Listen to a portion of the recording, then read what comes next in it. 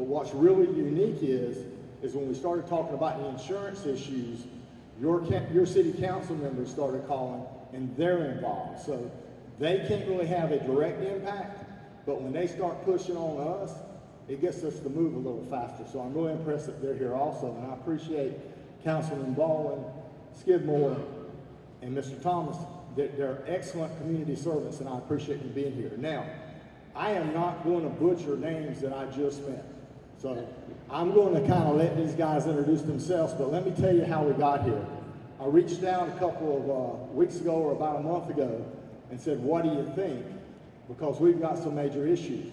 And our issues here in Horry County are completely different than other places in the state. And we have similar issues, but we do have different issues because number one, we're one of the top tourist des- destinations in the country. And number two, people love to move here. And in that they're moving here, they're building condos. And I believe we're number one or number two with HOAs in the country, it feels like. But I know we're in South Carolina, we're either number one or number two. And I think most of you, by a show of hands, how many of you here in relationship to a HOA situation? Welcome to South Carolina. So if I had to follow that up with a question, how many of you are here of hundred to two hundred percent increase on your rate? Believe, believe me, I saw the same thing when I opened my premium. Hi, my name is Thea. I'm in Edgewater, in Barker. I've owned since 2005. Our premiums have gone up 700%. We have been extorted to take flood insurance, which we don't need. I grew up on Long Island, so I know, I bought here. I have bought on the water if I wanted to do, to have that risk. What I want to know is what are our elected officials planning on doing? we shouldn't be, we shouldn't be subject to just having to deal with it. And this has been going on for a while. Right, and, and I appreciate the question, but as I said when we first got here, the meeting we had last night, the meeting we're having right now, are the first meetings that this state has had. Yeah, but you have known about this for years. Uh, hold on one moment. When did you get the notification of your increase?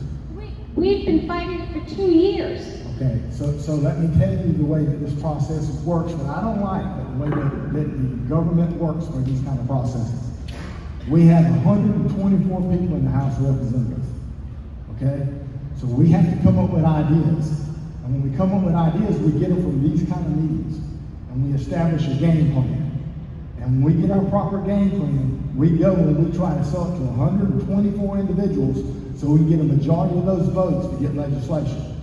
If we don't have a good game plan, the people in Aiken and the people in York and those places that don't have the same issues as Horry County, we won't have them on our team. So it's going to be a process and it's going to be painful, but at least the guys that you see in this room that are elected officials are here working with these guys who don't have to be here, trying to come up with a solution that will help all of us. And, and I don't, What are your ideas? my ideas are a couple of things. Well, let's hear.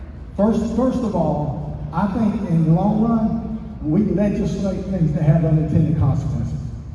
I mean, we've got things occurring on the ocean front. We've got properties where we draw critical lines, and there's for good reasons. It's conservation. We're worried about the coast, and we're worried about the turtles and all these things that we've got to be worried about. But when we change these critical lines, we go in and tell people who no longer have seawalls because the storms hit that they can't put it back. So now we're putting the risk on the insurance company because we're trying to do something good for the environment. But we're putting the insurance company paying for this house. It's going to fall in the ocean because we're saving the environment. It's not the homeowner's fault because we allowed them to do that in the first place. So we legislate things that cause unintended consequences. And we've got to stop doing that. We've got to start thinking about the decisions we make and figure out how it's going to impact people back home. Even though it sounds good, we need to think about what it's doing to you back home. And we don't do that very well. And that's my idea. Now we're going to have a committee that comes through. We're going to have some hearings. We're going to bring these guys back. We're going to try to bring some insurance companies in. We're going to have them under oath. We're going to have some of you under oath. And we're going to have hearings and we're going to record them. We're going to make them available to the public. And we're gonna try to have them up and down the coast. And we're gonna build that coalition. And when these guys tell us those are good ideas, they'll work, then we'll try to get them passed. And that's the way the process works.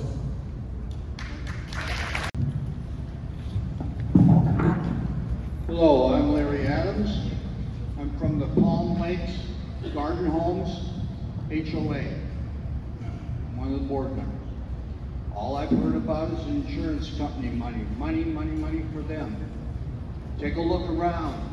It's all white hairs. All right? We're older. Where's, where's, what about our money? You talk about your money, come on.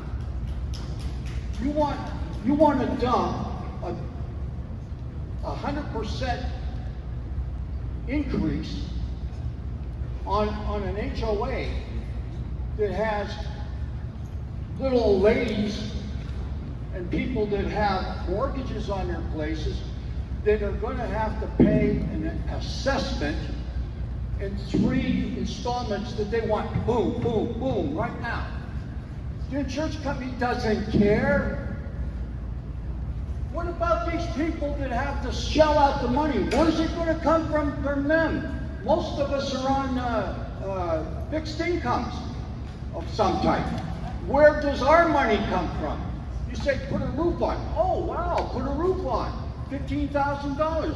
Maybe you have fifteen thousand dollars. How many people out here have fifteen thousand dollars to dump? Did it, was it worth fifteen thousand to get your insurance a little bit lower for that year?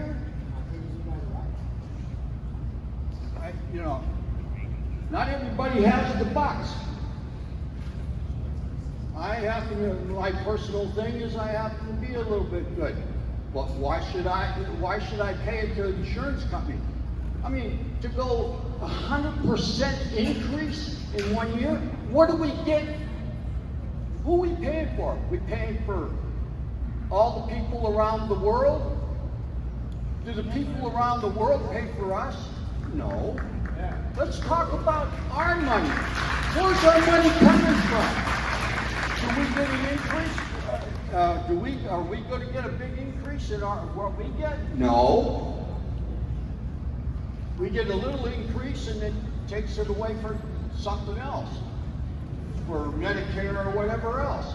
I'm worried about my people that, that live in my community. What are you going to do? And, and you people over there, the, what, the council and senators or whoever you are, what are you going to do when people can't pay? What are you going to do when they have to walk out and you get foreclosures? This is going to be a ghost town. Think about it. The businesses are going to suffer. Everybody's going to suffer. Why? Why? Right now, if because of this, if I wanted to try to sell my property, I couldn't do it. Who in their right mind would come in and pay a mortgage, okay, pay a mortgage, and then pay an assessment and an HOA fee that's more than their mortgage. Nobody in their right mind that I know, unless they really want to spend the money, okay? I'm to throw the money away, that's, I guess that's okay, but think about it.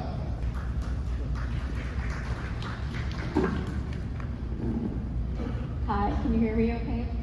Hi, my name is Denise Westney Richardson. I'm the president of the Waipawnee Homeowners Association. Um, first of all, I want to thank you all for joining us tonight. I know we're probably not the most friendly audience, um, but I also want to thank everybody in this room. It's obvious we're all in this together, and to see such a big turnout is um, it's, it's just really nice to see because I think this is going to be a long haul for all of us. Um, so here's my question, and I'll give you some background. Um, we budgeted at Waipawnee 40% more for insurance this year. Um, at the end of the day, our cost ended up being four times what we budgeted. And we were told we were lucky. As the months were leading up to our renewal, we were told by our agent that we may not be able to get insurance. Um, and if we did, we'd have to go through the South Carolina Wind Hail underwriters group, and we would be close to seven or eight times what we budgeted. So we considered ourselves lucky to be four times over budget. Um, here's the thing, as we were hearing, we were, we maybe couldn't get insured. You know, we started talking to other insurance agents, thinking this can't be right, you know, somebody's not giving us the right information. Um, these other agents we talked to were unable to even look for other options for us. Because, and, and you may not all know this, but when you work with an agent, they actually lock your account. So any company they are partnered with, any underwriters, um, no one else, as long as you have them as your agent of record, no one else can search on your behalf. So, you know, we're told to shop the market, but how can we shop the market when these agencies are allowed to lock in your account and then not provide you with a renewal option until three days before um, your policy expires, which is what happened to us. You know, that took our cost, it almost doubled our budget, and it took our insurance costs to be about two-thirds of our entire budget.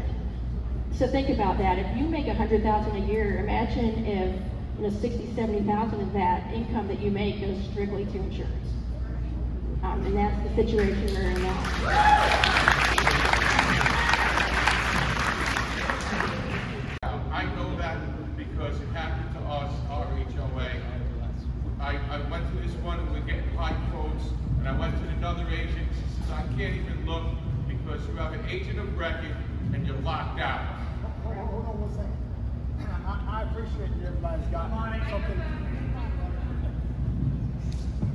I, I, I know everyone could probably contribute to every situation here because we're all in the same boat. And I appreciate your effort to try to straighten out the question. But in the, in the interest of making sure we keep this orderly, if you want to have an input, get, make sure you're in line and let the person at the mic handle the question.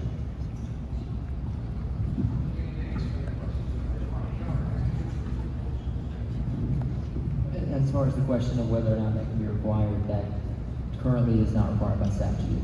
Um, so I would encourage you to talk to somebody about statutory changes. We're happy to have that conversation in the legislature.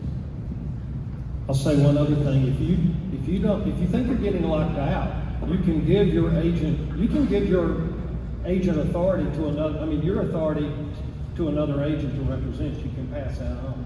But I'm not, I don't, I don't want you to expect a different answer from the second agent.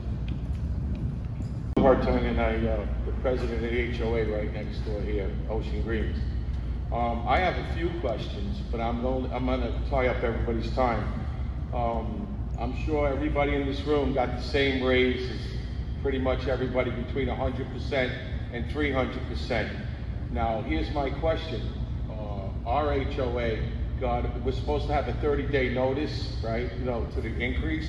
We got a five-day. I heard there was, I'm talking to other HOAs around the area in North Myrtle Beach. They got three days notice for a three hundred percent increase. And if you guys are, whoever's regulating them is supposed to follow the rules, they're not following the rules. The, the rules are whatever they say they are. You just answered that gentleman's question.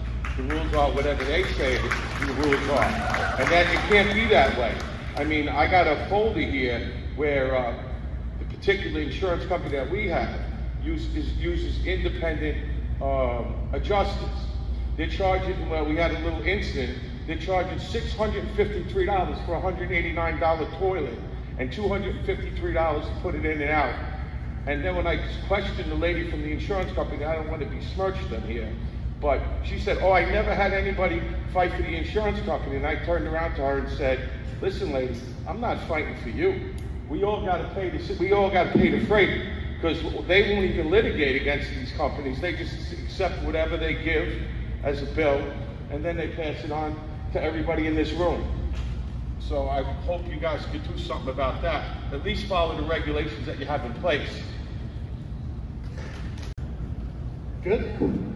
Right, first, a point of clarifi- clarification, if you would, Mr. Director. You said that there was like a second tier of companies that are totally unregulated in the state. How does that happen? That you get people involved in something like this and they're totally unregulated? Everything, my entire life has always been regulated. Yet I find out that many HOAs are buying from that second tier because those are the major providers. for HOAs, and no one regulates them. In fact, you can't do anything with them based on what I'm hearing. Correct?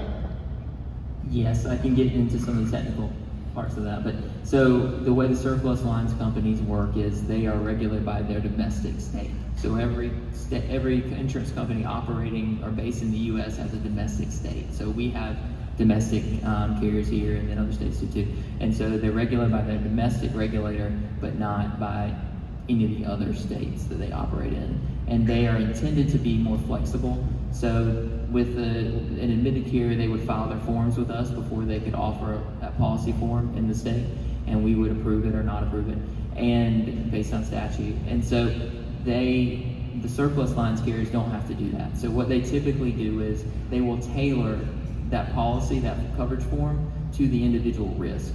So they might not have to tailor it too much, but they are able to do that, and it does provide some flexibility. It's intended to be um, a, a release valve, if you will, to provide some coverage when maybe a traditional carrier wouldn't be willing to, and it, it can serve as a gap between the traditional carrier and that our wind pool, the market of last resort. So we don't have any, we have no means of actually getting these folks to do anything. They can basically do what they want to do. We can communicate with them, but that by They can basically do what they want to do. Simple question, yes or no? they can to a degree. Okay, thank you very much. I Thank appreciate you. it.